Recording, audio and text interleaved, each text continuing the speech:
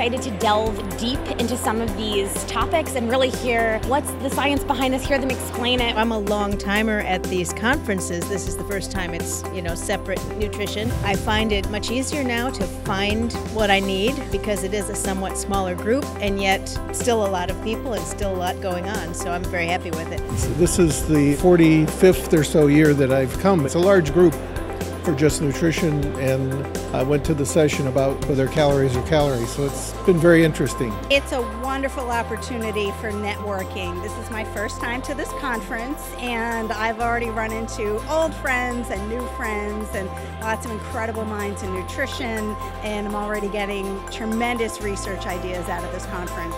The biggest takeaway for me is being able to connect with other uh, people and professionals in my in my field. Not only the networking events and and the happy hour opportunities, but also in between sessions. So it's a great networking opportunity besides just a great chance to learn about up and coming research. This is just a boon to me because I feel like I can talk to the researchers, talk to the presenters, talk to those, you know, at the poster sessions and really delve into their research and it's great for me.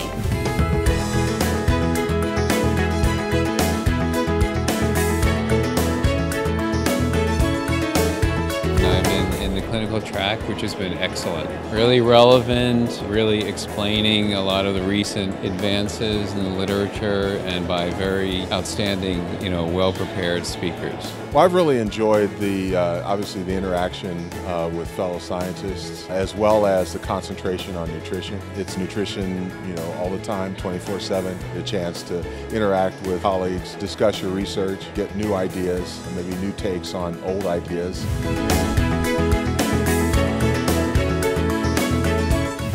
Just starting to get into the kind of American scientific market. So meeting a lot of new people, very friendly people, uh, very open to new ideas.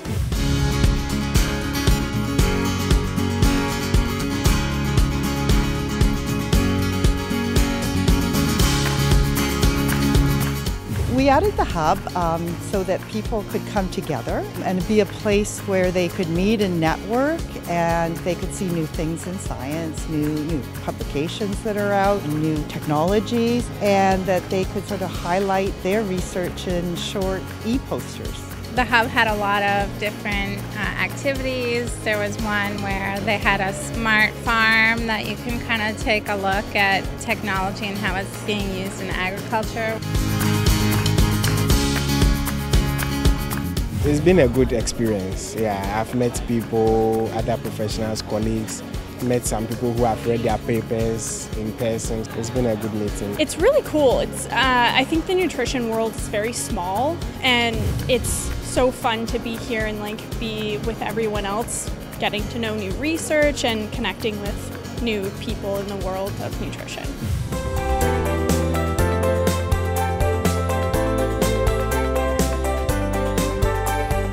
A lot of the people who are part of our community are here, so it's an opportunity for us to be present for them and to have direct conversations. And we're also looking for input and we're recruiting and all sorts of things, so it's been great.